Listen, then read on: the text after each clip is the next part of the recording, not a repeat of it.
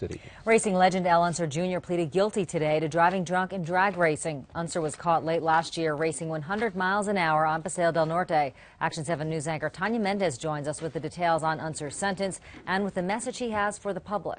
Shelly Al Unser Jr. is an admitted alcoholic. Today he stood before a judge and acknowledged that he screwed up, apologized to the community, and vowed to make some real changes in his life. And tonight, we're also learning more from the night of Unser's arrest.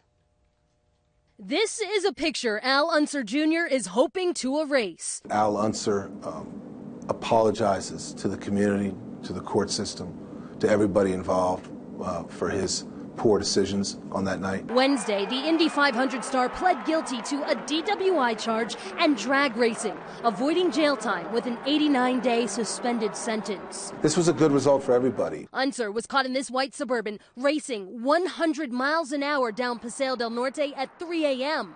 The DA's office was prepared to play audio recordings from the traffic stop. He was faster than I was, and you caught the slower man. Unser even tries getting out of the field sobriety test. Broken foot. You have a broken foot right now?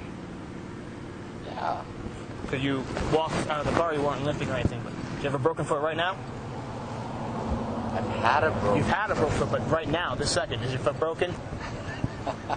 No? You can hear the drunk Unser even mocking the officer during the test. Can all your stuffs out loud? Can you do it? I'm going to show you. I'm in the position right now. Can you do it? Deputies say Unser was twice the legal limit. His attorney hopes this plea will help Unser slow down in the future. We as a society and certainly the media, uh, we um, prop people up and sometimes we take them down when they fall a little harder than they normally would be. Unser was originally facing reckless driving charges and aggravated DWI charges from a prior DWI conviction. With this plea to the lesser charge, he's required to have about a year of supervised probation and complete 48 hours of community service. Shelley.